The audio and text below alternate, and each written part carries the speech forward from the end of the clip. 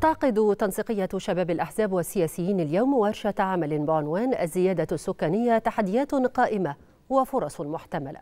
وذلك في إطار اهتمام التنسيقية ومناقشتها لأهم القضايا التي تهم الشارع المصري ضمن نقاشات الحوار الوطني. تتناول الورشة مناقشة عدة محاور.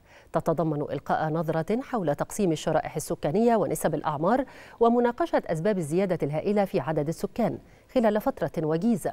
بالإضافة إلى التحديات التي تنتج عن الزيادة السكانية وجهود ومبادرات الدولة لمواجهة الزيادة السكانية وآليات التعامل المنهجي مع هذه الزيادة الحالية وماهية الحلول للتعامل مع الوضع القائم ومنع تفاقمه مستقبلاً.